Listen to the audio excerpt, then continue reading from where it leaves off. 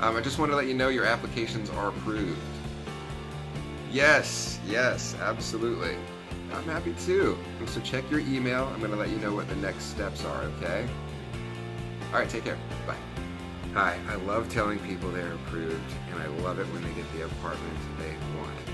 Hi there, my name is Ethan. You may have seen me at your community's rental office. I wanted to go over a quick announcement about renter's insurance and what happens when we get notices of cancellations from insurance companies. Like for example, right now I have a stack of them. Your State Farms, your USAAs, your Progressives. They send us letters that say, um, hey attention, this person's policy has been canceled for non-payment. So that means that uh, apartment does not have any insurance anymore. Well, the good thing is that our liability insurance would apply to your apartment once we get that notice.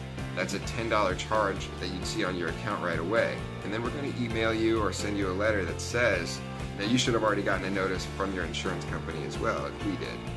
It would say something along these lines. Notice of cancellation, usually for non-payment or something, but sometimes people are just like, yeah, I don't want it. Um, but we would get a copy of that as an interested party on the policy. So when we get that, boom, immediately $10 is applied for your apartment. And I want to explain that so people um, understand. Yes, the $10 per month will automatically begin charging uh, as soon as we get those.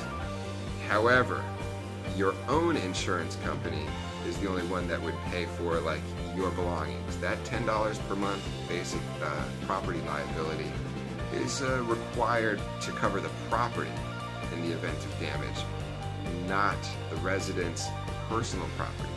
That's something you get on the phone with, with um, you know whoever your insurance company is.